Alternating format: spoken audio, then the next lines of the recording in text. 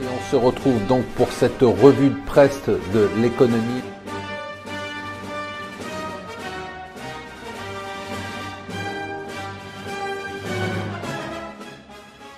Bonjour et bienvenue sur Mon Financier pour le Morning Zapping du jour. Nous sommes le mardi 5 mars. Et d'abord, je fais une annonce, comme mon président qui a fait sa lettre aux Européens, Jupiter est de retour, au lieu de s'occuper de la France, il s'occupe de l'Europe. Eh bien, moi, je vous annonce que mardi prochain à Paris, je vous attends pour une conférence à 18h30 sur un thème révolutionnaire, la révolution économique. Je vais essayer de vous démontrer en quoi euh, la démographie, la technologie, la sociologie vont modifier structurellement ou ont modifié déjà structurellement la croissance économique. Regardez sur la newsletter, on vous expliquera comment s'inscrire, étant donné que les places sont limitées, les premiers inscrits seront les premiers servis. Alors pourquoi on a découvert pourquoi la bourse américaine montait? Non, plus sérieusement, on a trouvé quand même une raison qui est très valable. Figurez-vous que bon, la bourse hein, a pris plus américaine, le S&P a pris plus de 300% depuis mars 2009. Euh, on a le meilleur début d'année cette année euh, depuis 1987. Euh, et pourtant, les grands fonds de pension notamment sortent un peu de la bourse et prennent leurs bénéfices. Alors qui achète? Eh bien les entreprises.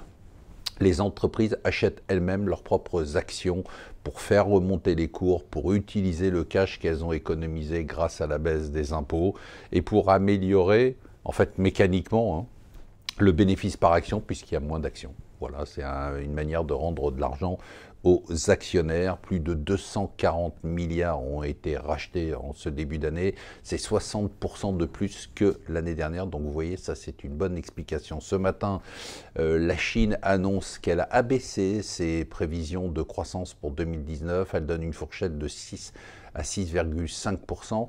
Si euh, on est à 6%, euh, on serait au plus bas en termes de croissance depuis 30 ans. Alors je le disais tout à l'heure, Jupiter est de retour. Il ne peut pas s'occuper euh, des Gilets jaunes ni de la France. Il lui faut l'Europe et peut-être le monde. Donc il publie une tribune pour appeler à la renaissance de l'Europe. Enfin, c'est reparti pour un tour. Euh, en fait, il n'a pas appris de ses erreurs. Euh, j'ai une bonne nouvelle pour vous, si vous êtes dans le secteur privé, vous avez tout compris. Euh, vous avez compris qu'il fallait travailler plus pour gagner moins à la retraite.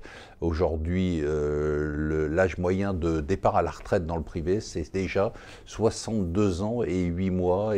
63 ans pour les femmes. Donc ça y est, vous avez intégré ça. Et de toute façon, il n'y aura pas le choix, ça va continuer à progresser. L'automobile américaine est sous pression, les chiffres sont assez affolants, hein. c'est carrément l'arrêt euh, des constructeurs américains en Chine. Ford est en train de prévoir des licenciements dans sa joint venture euh, en Chine, il y a 20 000 personnes quand même qui travaillent pour Ford. Euh, GM est en difficulté, alors pourquoi? Bah, D'abord parce qu'il y a la guerre commerciale, d'autre part parce que les Chinois bah, aiment de plus en plus les voitures chinoises, et troisièmement parce que les Chinois eh bien, utilisent de plus en plus les services de Euh, qui explose. Hein. Euh, les chiffres de Didi, qui est euh, l'Uber chinois, Didi transporte en Chine plus de voyageurs que Uber et Lyft transportent dans le monde entier. Je ne sais pas si vous imaginez quand même ce que ça représente.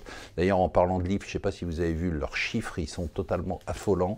Pour 2,2 milliards d'euros de chiffre d'affaires, ils font plus près d'un milliard de dollars de pertes. C'est ce qu'on appelle l'économie de partage des pertes. Euh, voilà, et puis bien évidemment la breaking news de ce matin, c'est Carlos Ghosn. Après 100 euh, jours de détention, il a été autorisé à sortir sous caution, euh, une caution de quasiment 8 millions d'euros. Voilà, je vous souhaite une excellente journée.